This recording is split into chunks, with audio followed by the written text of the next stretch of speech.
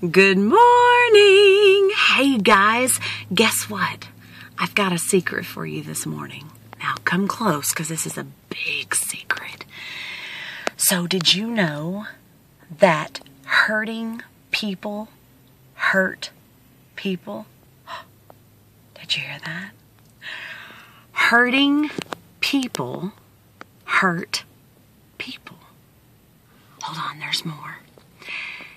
Healed people, what do you think's coming? Heal people. Hurting people hurt people, and healed people heal people. Today, as you move throughout your day, you are going to have millions of experiences. I'm talking by the second you are going to be encountering healed people and hurting people. Today, as you're walking through your journey, this beautiful, crazy, chaotic thing called life, when you encounter someone who is nasty and who is unthoughtful and who is rude and does not take your feelings into consideration, you can immediately identify that they are hurting.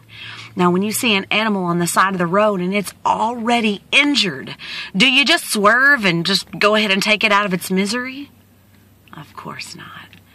You take the time to either avoid hurting them more or find them some help.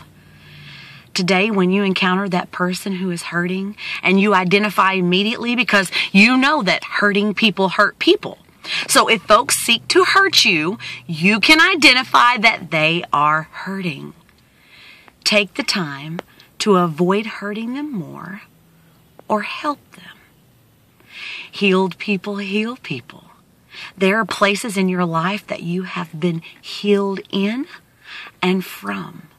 Expound upon it. Man, when you come into someone else's path that is hurting in the same place you used to hurt, help them heal. Share your story. Don't be afraid to put your junk out there. Look, someone else out there who's hurting is just looking to identify with someone else who's gotten out of it. Don't be afraid to share your healing.